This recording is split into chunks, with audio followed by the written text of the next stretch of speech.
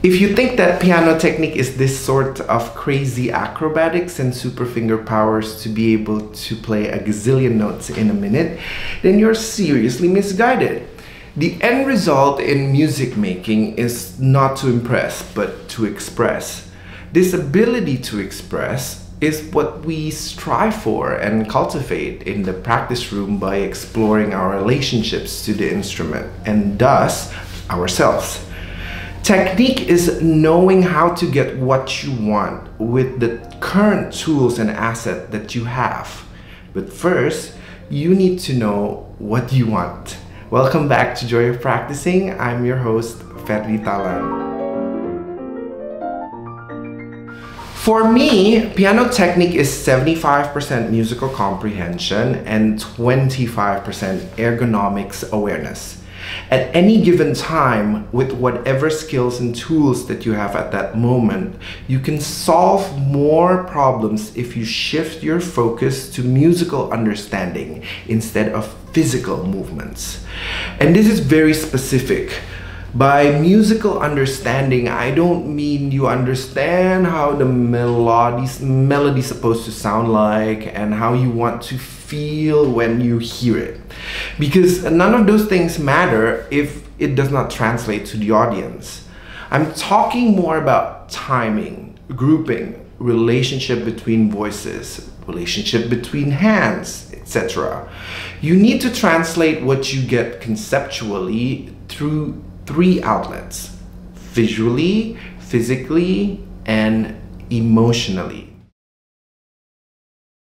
Inflections, pauses, places of articulations all determines the meaning that are conveyed. The way that you want to say it will give you the roadmap to physically achieving it.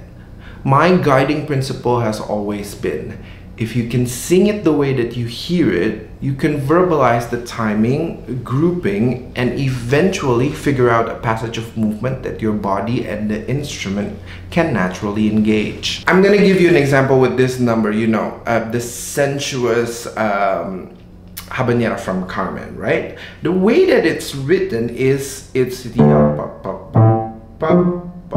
right? If I play it strictly,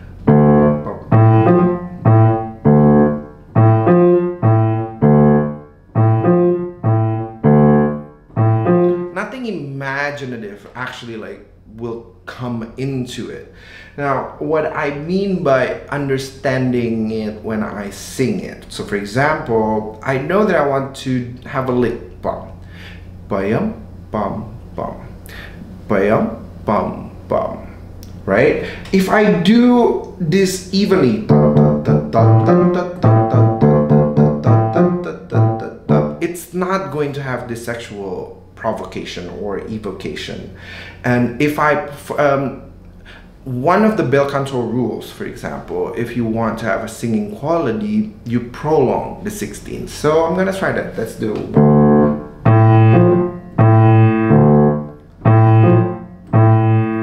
But that's a little bit more lazy than sexy, right?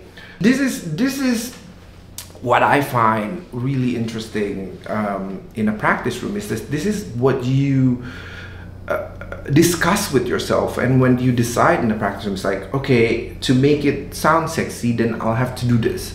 But this is your own translation and your own dialogue with with with yourself and see um, how are you going to achieve it with the with the current tools and the knowledge that you have. So um, I'm just gonna give it to you right now for illustration purposes, but what gives the sexiness is that if you can hold the tension for as long as you can before you enter.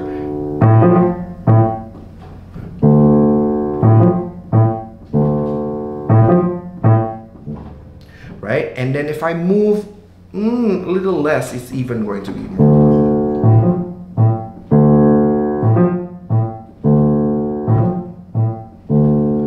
But I need to conceptualize that first. And then I need to figure out what in my current capacity and skill can how can I achieve that?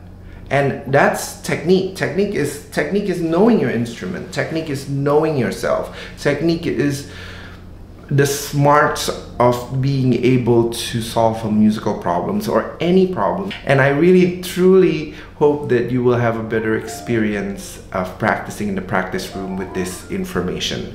Uh, don't forget to subscribe if you haven't. Uh, if you have, uh, thank you for your support all this time, and I look forward for your uh, to see you in the next Joy of Practicing episode. Bye.